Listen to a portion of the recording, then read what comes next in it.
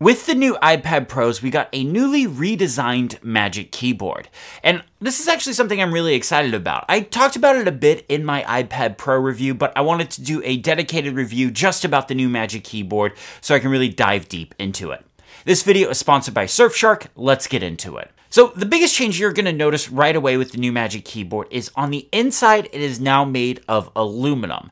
On the outside, it still has that rubbery soft touch material, but on the inside, it has an aluminum palm rest and aluminum around the keyboard as well.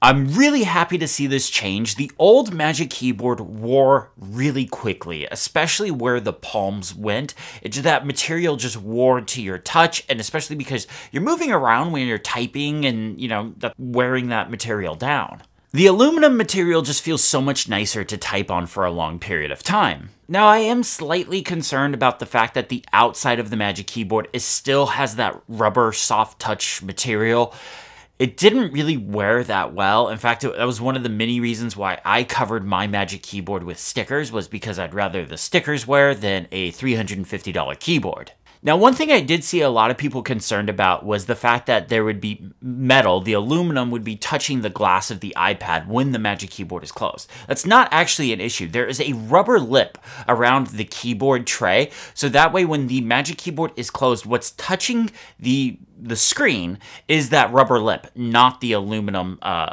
of the Magic Keyboard. One of the biggest complaints when the original Magic Keyboard was released all the way back in 2020 was the weight, especially with the 12.9 inch model. It was a heavy beast. It was way past MacBook Air weight and like borderlining on MacBook Pro weight. Now, with this new generation of iPad Pro, not only is the iPad lighter, but the Magic Keyboard is also lighter now too. And in fact, the combination of the iPad and the Magic Keyboard together is about the same as a MacBook Air and it's quite noticeable when you're picking it up and carrying it around. The thing that kind of impressed me about that is when I took a step back and when you realize this is a multi-piece device, so you have the Magic Keyboard, you have the iPad, and on top of that, you even have the Apple Pencil.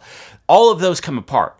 The MacBook Air is just a single, you know, it's the unibody aluminum MacBook Air. So it's impressive that they were able to get multiple pieces that come together using magnets, which, you know, magnets, they they don't weigh nothing.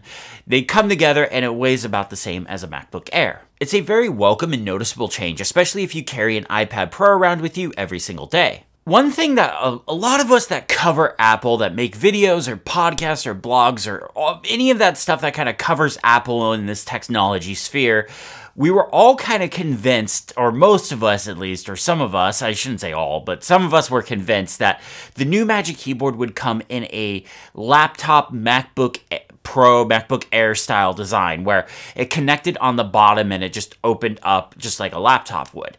But this Magic Keyboard still keeps that same what's called a cantilever design where it's kind of just floating above the keyboard. I was kind of surprised by the fact that they kept this design by first, but I went back and watched my original uh, Magic Keyboard review and something I talked about in there and it, uh, it was so obvious to me then and, and it should have been obvious to me now was the fact that the cantilever design is perfect for the iPad because you want to be able to be typing on the keyboard and be able to then reach up and touch something on the display without having to go from here and then tapping on the display way further away. You just want to be typing along and then be able to just touch the display. Uh, and the cantilever design is what gives you that. If it was a more laptop-like design, you wouldn't have that. This video is sponsored by Surfshark. Surfshark is a VPN service that protects you and your data.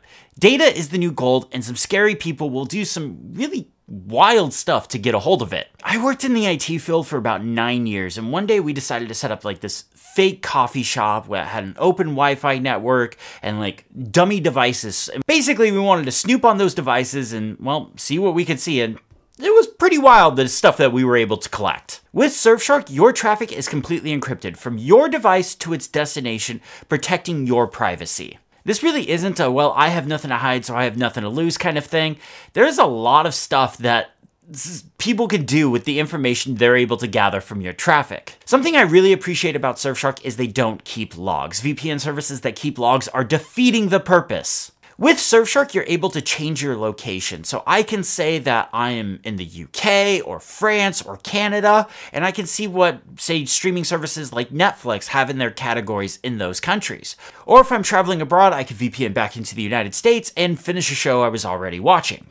I really like Surfshark. In fact, it's a service I pay for myself. They didn't just give me a freebie as part of the sponsorship. I'm to put a link in the description below for you to go check it out. Use code LAWLEY for an extra four months for free. Now, another benefit of the fact that the new iPads, especially the 13 inch model iPad Pro, weighs less is the fact that the iPad can now sit further back in the Magic Keyboard, which gives you more viewing angles. It can tilt back even further. Now, it's not as dramatic as something like a MacBook Air, MacBook Pro, but it is better, and I will take that because that was a big complaint of the original Magic Keyboard was that it was sitting too far forward. So if you weren't sitting like at the proper angle of a desk, if you were had the iPad in your lap or if you were at kind of a weird angle or a table that wasn't the right level, it was going to be an awkward angle. You couldn't go back far enough. Now it's better, but it could be even better, if that makes sense. I noticed the uh, more adjustable viewing angle quite a bit when I'm using the iPad in my lap. That was something that was not, it wasn't like uncomfortable. It wasn't bad with the old one, but the new one is just better at that. Another big complaint, and, and really, like, this Magic Keyboard just addresses all of the complaints of the original Magic Keyboard. Apple did a great job of designing this. I, I kind of realized this as I was writing the script. I kept writing the sentence, well, another complaint of the old Magic Keyboard that they just did a really good job of addressing these issues. So another complaint of the old Magic Keyboard was the lack of a function row. This wasn't something uh, like uh, on my top wish list of items, this wasn't the number one thing I wanted. I definitely wanted new material. I definitely wanted it to be lighter, but a function row is a very nice addition.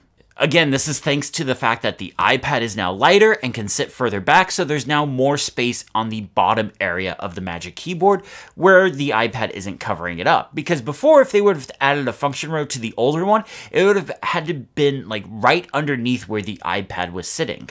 So there are a few different function keys. There's support for changing the brightness of the display, quickly launching the app switcher, which would be way more helpful if you can drag apps between stages in this window with Stage Manager. This window is very limited. It could do a lot more with Stage Manager. Here's hoping for WWDC. Then there is a spotlight key so you can search anything through the iPad. I'm not sure how useful this key is because you can just also hit command space to bring up spotlight and for a lot of Mac users and and you know people that that's just natural to hit command space rather than a function key. Personally, I would have much preferred to have a dedicated Siri key or a user programmable key. Next to this, you have a dictation key. Really nice if you're like me and you can't spell. If you long press on the dictation key, you will get Siri, which is really great if you enable type to Siri. Do not disturb is next. This just toggles the default do not disturb mode, which if you use that, great. Personally, I wish I could uh, program this to a specific focus mode. Then there are media playback and volume controls, skipping forward and back for songs, play pause, mute audio, and volume up and down. So, so, so incredibly nice to have. I love these. Just being able to reach up and pause music really quick or skip to the next song or control the volume right from the keyboard while I'm typing away has been really nice. The last function key is a lock key. I'm not entirely sure how useful this one is as well because if you just close the lid on the Magic Keyboard, it automatically locks. I guess it's nice that it's there. Eh, I don't see this being as useful. I would have taken a user programmable key over this any day. There's also an escape key on the function row as well. I am so excited for this. There are a few apps that I use that really take advantage of the escape key. Uh, before that, there was an escape key. You either had to hit command period or uh, you could reprogram a modifier key like caps lock or something to be the escape key. Another really nice change to the Magic Keyboard is the trackpad. The last Magic Keyboard well, was the first keyboard to bring a trackpad to the iPad Pro. But this new Magic Keyboard just takes it to another level. It's just so much better. The biggest change, and I do mean biggest, is the fact that the trackpad is now, well, bigger.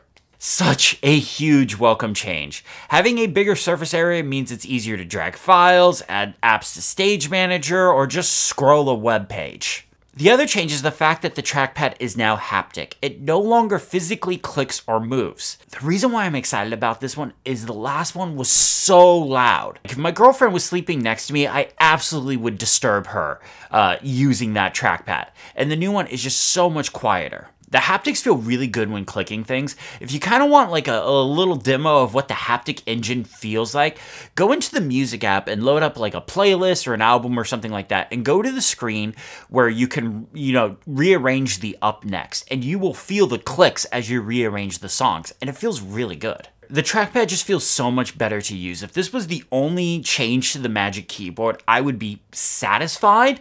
Luckily, it's not the only change, but this this was a very very welcome change. Overall, using the new Magic Keyboard is just nicer and all around improved compared to the previous Magic Keyboard. While the key switches are still the same, the aluminum material gives, you know, everything a nice premium feel. While I would personally love a bit more travel with the key switches, there's still that same one millimeter key switch travel.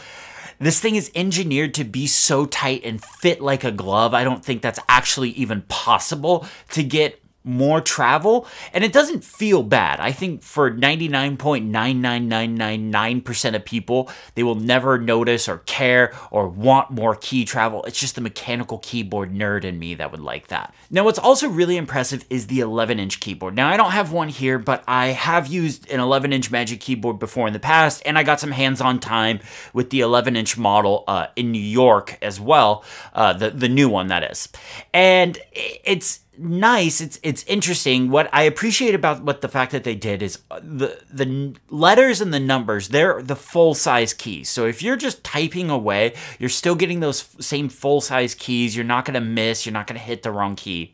But the modifier keys and some of the symbol keys around the keyboard, they're like half size or a little bit smaller, uh, just so they they could fit everything in that design. Because well, you, you can't really get an 11, a full size keyboard to fit with an 11 inch iPad Pro, but they did a really good job of it.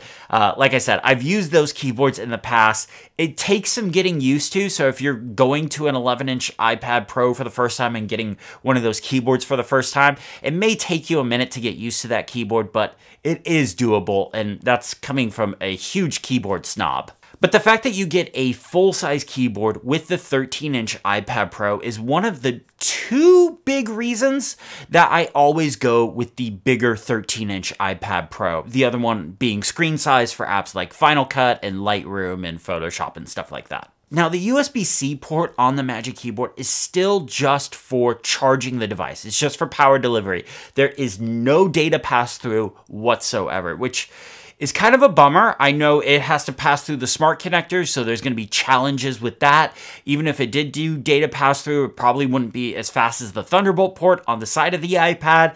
I get that. It would just be nice to have an extra port on the iPad that could do data pass through. There have been times where I needed to plug multiple devices in to copy files over, and it's just frustrating to have to do that one at a time. That being said, the port on the Magic Keyboard actually does charge faster now. It goes to about 29 watts of power delivery. Uh, that's about on average. I've seen it spike to be a little bit higher. I've seen it go lower when the iPad's battery kind of gets near to 100%. It'll go lower so it's not constantly charging that battery over and over. Uh, it's nice that that is faster. In fact, I've been using that primarily as the way I charge it just because I have a USB-C cable right here to the left of me and I just plug it in right there to the side. It's down low. It's not just getting jammed into the side of the iPad up high.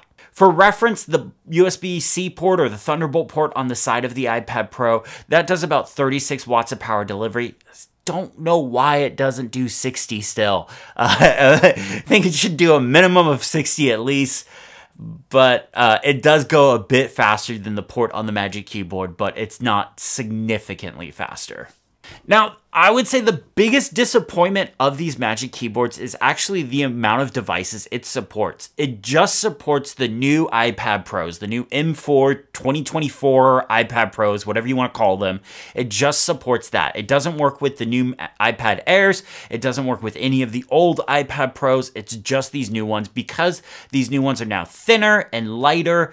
Uh, seriously, there it's engineered to be like a glove. You close this thing up, there is no gap. You wouldn't want there to be a gap. Uh, and because of the weight balance, they were able to move the iPad back further. So if you were to put a heavier iPad on this thing, it would just tilt over. It's a bummer because it is a much better product, especially considering uh, how it compares to the older Magic keyboards. And the older Magic keyboards are what works with the new iPad Airs and the previous iPad Pros and stuff like that. So if you're somebody that's planning on typing or using the trackpad or using this, you know, Magic Keyboard a lot, and you're like, oh man, I don't know whether to get an older iPad Pro, a refurbished one, or a new iPad Air, or a new iPad Pro.